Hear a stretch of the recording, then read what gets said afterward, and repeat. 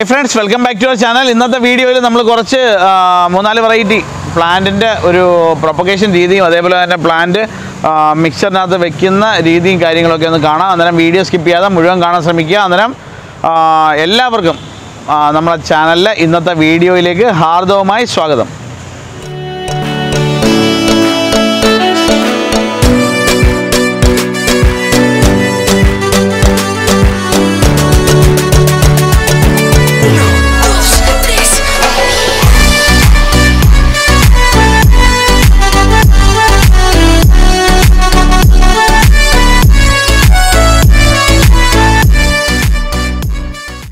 വലിയ കെയർ ഇല്ലാതെ നമുക്ക് വളർത്തിയെടുക്കാൻ പറ്റുന്ന ഒരു നല്ല പ്ലാന്റ് ആണ് സിങ്കോണിയം സിങ്കോണിയത്തിൽ തന്നെ ഒരുപാട് വെറൈറ്റികൾ ഉണ്ടെന്നുണ്ടെങ്കിലും ചില വെറൈറ്റികൾ നമുക്ക് മണ്ണിൽ വെക്കുമ്പോഴത്തേക്ക് നല്ല മിക്സ്ചർ വേണം. അതേപോലെ തന്നെ ഡെഫിൻ വെക്കുകയാണെങ്കിലും അഗ്ലോണിമയൊക്കെ ആണെന്നുണ്ടെങ്കിൽ നമുക്ക് കട്ട് ചെയ്ത് പ്രൊപ്പഗേറ്റ് ചെയ്ത് എടുക്കാൻ പറ്റുന്ന ഒരു പ്ലാന്റ് ആണ്. അത് ചുമ്മാ മണ്ടയൊന്ന് കട്ട് ചെയ്യുക. കട്ട് ചെയ്തതിന് ശേഷം വളമില്ലാത്ത മണ്ണിൽ വെച്ച് കഴിഞ്ഞാൽ ഒരു പരിധി വരെ ഇത് വേരായി കിട്ടും. അന്നേരം നല്ല വെറൈറ്റികളൊക്കെ ഉണ്ടെന്നുണ്ടെങ്കിൽ നമുക്ക് ഇതേപോലെ നല്ല തൈകൾ ഉണ്ടാക്കിയെടുക്കാനായിട്ട് സാധിക്കുന്ന ഒന്നാണ് ഈ പറഞ്ഞ ഡിഫൻ വെക്കുക അഗ്ലോണിമ ഇങ്ങനെയുള്ളത് വെക്കുന്ന സമയത്ത് ശ്രദ്ധിക്കേണ്ട ഒരു കാര്യം നല്ല മൂന്നാലഞ്ച് കല്ല് അതിനടിയിലിടുക. വെള്ളം വാർന്ന് പോകാൻ വേണ്ടിയിട്ടാണ് അങ്ങനെ ചെയ്യുന്നത്. അതിന് ശേഷമായിട്ട് ഇപ്പോൾ സ്നേക്ക് പ്ലാന്റ് ആണ് നമ്മൾ ഒരെണ്ണം ഇളക്കി വെച്ചേക്കുന്നതെന്നുണ്ടെങ്കിൽ ഒരുപാട് വെറൈറ്റി സ്നേക്ക് പ്ലാന്റ് ഉണ്ട്. ഒന്ന് രണ്ട് വെറൈറ്റി നമ്മൾ ഇതിനകത്ത് കാണിക്കുന്നുണ്ട്.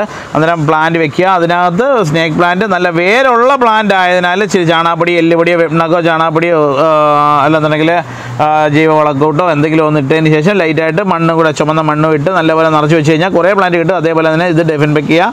അഗ്ലോണിമാസ് എല്ലാം നമുക്ക് ഇതേപോലെ തന്നെ കട്ട് ചെയ്തെടുത്ത് പറ്റുമെന്നുണ്ടെങ്കിൽ ഒന്ന് ചാർക്കോൾ കരിയിൽ ഒന്ന് മുക്കുക. കരി പേസ്റ്റ് പോലാക്കിയിട്ട് ഒന്ന് മുക്കിയതിന് ശേഷം അതിനകത്തൊന്ന് മുക്കി അങ്ങ് വളവില്ലാത്ത മണ്ണിനകത്ത് വെച്ച് കഴിഞ്ഞാൽ ഒരു നന്നായിട്ട് തന്നെ പ്ലാന്റ് വളർന്ന് കിട്ടും. അന്നേരം അതും കൂടെ ശ്രദ്ധിക്കേണ്ട ഒന്നാണ്.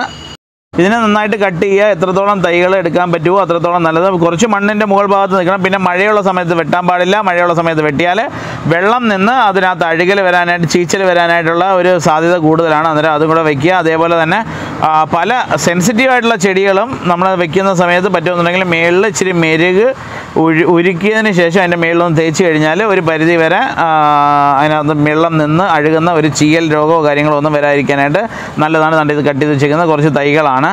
ഇതിനെ നമുക്ക് പ്ലാന്റ് ചെയ്യും. അതേപോലെ തന്നെ വളം വളമില്ലാത്ത മണ്ണിലാണ് ഇങ്ങനെ കട്ടിങ്സ് ഉള്ള പ്ലാന്റുകൾ നമ്മൾ വെക്കുന്നത്.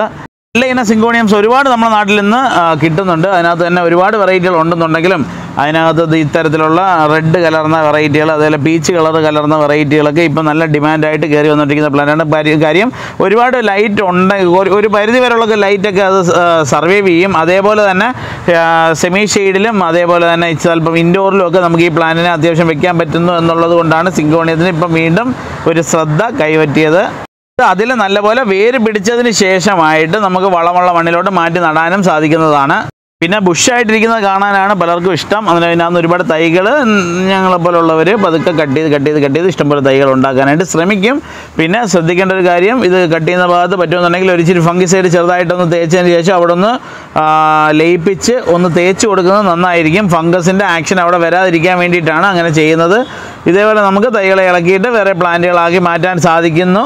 ഇത് നല്ല ബൾക്കായിട്ട് വരാനായിട്ട് നമുക്ക് കടലപ്പിണ്ണാക്കും വേപ്പ് പിണ്ണാക്കും ചാണാനും കൂടെ മിക്സ് ചെയ്ത് മൂന്ന് ദിവസം വെച്ച് പുളിപ്പിച്ച വെള്ളം എത്ര എടുക്കുന്നോ അതിന്റെ പത്തിരട്ടി വെള്ളം ചേർത്ത് നല്ലപോലെ ലയിപ്പിച്ചതിന് ശേഷം കുറേശ്ശെ കുറേശ്ശെ ഒഴിച്ചു കൊടുക്കുക. പ്ലാന്റിന്റെ ഒരു വളർച്ചയ്ക്ക് വേണ്ടിയിട്ടും അതേപോലെ തന്നെ രോഗപ്രതിരോധ ശേഷി കിട്ടാൻ വേണ്ടിയിട്ടും നമുക്കത് ഉപയോഗപ്പെടുത്താനായിട്ട് സാധിക്കും. ഫംഗിസൈഡ് ഇൻഡോഫിലം ഫോർട്ടി ഫൈവ് ഒരു ലിറ്റർ വെള്ളത്തിനകത്ത് ഒരു സ്പൂൺ ഇട്ട് നല്ലപോലെ ഒന്ന് കലക്കിയിട്ട് മാസത്തിലൊരിക്കലും സ്പ്രേ ചെയ്ത് കൊടുക്കും. നല്ലതാണ് ആനച്ചെവിന്റെ പുറമേ ഇരിക്കുന്ന സ്നേക്ക് പ്ലാന്റ് ആണ് അടുത്ത ഉദ്യമം. അതിന് നമുക്ക് നല്ലൊരു പ്ലാന്റിനെ സെലക്ട് ചെയ്തു. സെലക്ട് ചെയ്തതിന് ശേഷം അതിന് ആ പോട്ടിന് നന്നായിട്ട് രണ്ട് തട്ട് കൊടുത്തു. അതിന് ശേഷം പ്ലാന്റിനെ അതിനകത്ത് ഇളക്കി എടുക്കുന്ന ഒരു രീതിയാണ്. പോട്ട് തിരിച്ചു കഴിഞ്ഞാൽ തന്നെ പെട്ടെന്ന് തന്നെ ഇളകി വരാം അത്. അന്നേരം ഇളകി വന്നതിന് ശേഷം നന്നായിട്ട് കൈകൊണ്ട് തന്നെ അതിനെ സ്പ്ലിറ്റ് ചെയ്ത് എത്ര എത്ര തൈ ഉണ്ടെന്ന് നോക്കുക. അതിനുശേഷം വലിയ ഡാമേജ് ഇല്ലാത്ത രീതിയിൽ പതുക്കെ സ്പ്ലിറ്റ് ചെയ്തെടുക്കുക.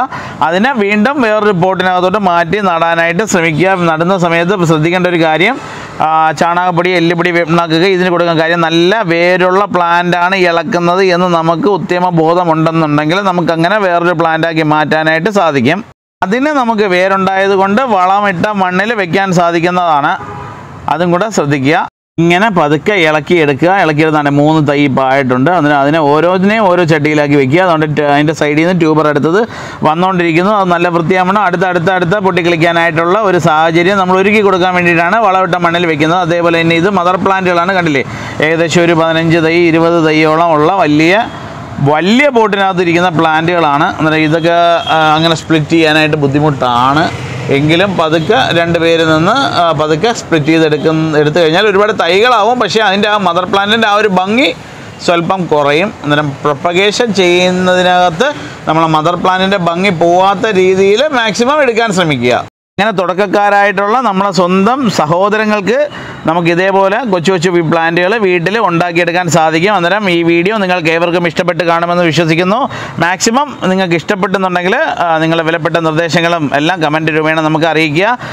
കാണുന്ന പക്ഷം നമ്മൾ റിപ്ലൈ തരുന്നതായിരിക്കും. അന്നേരം നിങ്ങളുടെ കൂട്ടുകാരിലേക്ക് കൂടി എത്താനായിട്ട് ഇത് മാക്സിമം ഷെയർ ചെയ്യുമെന്ന് ഉറച്ച് വിശ്വസിക്കുന്നു. അന്നേരം ഇതിലും നല്ലൊരു വീഡിയോ ആയിട്ട് നാളെ കാണും വരെ എല്ലാവർക്കും ശുഭദിനം നേരുന്നു. വീഡിയോ ഇഷ്ടപ്പെടുന്നുണ്ടെങ്കിൽ ലൈക്ക് ചെയ്യാൻ മറക്കരുത്. അന്നേരം മാത്രമല്ല നമ്മളെ കോംബോ റോസിന്റെ വള്ളി റോസിന്റെ കോംബോ ഒക്കെ ആർക്കെങ്കിലുമൊക്കെ ആവശ്യമുണ്ടെന്നുണ്ടെങ്കിൽ ഈ നമ്പറിൽ കോൺടാക്റ്റ് ചെയ്ത് പെട്ടെന്ന് തന്നെ അയക്കുന്നുണ്ട്. ഒരു ലിസ്റ്റ് ഉണ്ട്. നമ്മളെന്ന് പറഞ്ഞാൽ ഒരുപാട് പേർക്ക് അയക്കുന്നത് കൊണ്ട് ഒരു ലിസ്റ്റ് ഉണ്ടാക്കിയിട്ട് ആദ്യമേ ആദ്യമേ മെസ്സേജ് വന്നവർക്കൊക്കെ അയച്ചുകൊണ്ടിരിക്കുകയാണ് അന്നേരം സുഹൃത്തുക്കളെ നാളെ മറ്റന്നാൾ അതായത് തിങ്കൾ ചൊവ്വ ബുധൻ വ്യാഴം നാല് ദിവസമേ കൊറിയർ അയക്കാൻ പറ്റുള്ളൂ. വെള്ളി ശനി ഞായർ അയച്ചു കഴിഞ്ഞാൽ ഡിലേ വന്നു കഴിഞ്ഞാൽ പ്ലാന്റ് ഡാമേജ് വരുമെന്നുള്ളത് കൊണ്ട് നമ്മളങ്ങനെ ശനിയും ഞായറും വെള്ളിയും അയക്കുന്നില്ല. അന്നേരം അതും കൂടെ ഒന്ന് സതയം ക്ഷമിക്കുക. അന്നേരം നാളെയൊക്കെ ഒരുപാട് പേർ കഴിക്കുന്നുണ്ട് അന്നേരം ഈ വീഡിയോ മാക്സിമം ഒന്ന് ഷെയർ ചെയ്തേക്കണേ. താങ്ക് യു താങ്ക് യു എല്ലാ സബ്സ്ക്രൈബേഴ്സിനും ഹാപ്പി വാലന്റൈൻസ് ഡേ.